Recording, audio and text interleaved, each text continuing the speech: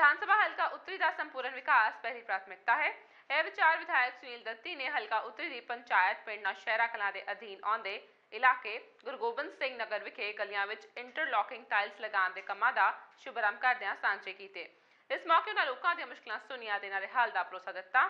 ਇਸ ਮੌਕੇ ਸਾਬਕਾ ਸਰਪੰਚ ਕ੍ਰਿਸ਼ਨ ਬਲਦੇਵ ਸ਼ਰਮਾ, ਵਿਕਾਸ ਸ਼ਰਮਾ, ਹਰਦੇਵ ਸ਼ਰਮਾ, ਵਿਸ਼ਾਲ ਕਪੂਰ, ਸਰਪੰਚ ਮਲੂਕ ਸਿੰਘ, ਰਣਬੀਰ ਸਿੰਘ ਸਮੇਤ ਵੱਡੀ ਗਿਣਤੀ ਵਿੱਚ ਇਲਾਕਾ ਵਾਸੀ ਮੌਜੂਦ ਸਨ।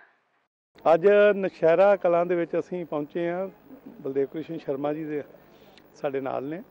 ਹਰੀਦੇਵ ਜੀ, ਸਰਪੰਚ ਮਲੂਕ ਸਿੰਘ ਜੀ, ਸਾਰੇ ਹੀ ਸਾਥੀ ਖੜੇ ਨੇ, ਵਿਕਾਸ ਜੀ। ਇਹ ਗਲੀਆਂ ਦਾ ਇੰਟਰਲੋਕਿੰਗ ਟਾਈਲ ਦਾ ਅਸੀਂ ਮੂਰਤ ਕੀਤਾ ਹੈ ਔਰ ਲਾਈਟਾਂ ਦਾ ਵੀ ਕੰਮ ਸ਼ੁਰੂ ਕੀਤੇ ਨੇ।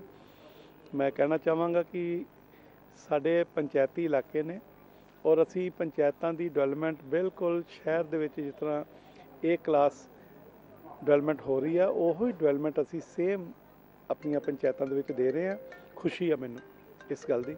ਮੈਂ ਸਾਰੇ ਇਲਾਕਾ ਨਿਵਾਸੀਆਂ ਨੂੰ ਬਹੁਤ ਬਹੁਤ ਵਧਾਈ ਦਿੰਦਾ ਜੀ। ਸਾਡੇ ਹਲਕੇ ਦੇ ਐਮਐਲਏ ਸੁਨੀਲ ਦੱਤੀ ਜੀ ਆਏ ਨੇ। ਮੈਂ ਇਹਨਾਂ ਦਾ ਬਹੁਤ ਧੰਨਵਾਦੀ ਹਾਂ। ਅੱਜ ਆ ਰਿਹਾ ਤੇ ਗੁਰੂ ਗੋਬਿੰਦ ਸਿੰਘ ਨਗਰ ਵਿੱਚ ਟਾਇਲ ਗਲੀ, ਗਲੀਆਂ ਦਾ ਕੰਮ ਸ਼ੁਰੂ ਹੋਣ ਲੱਗਾ।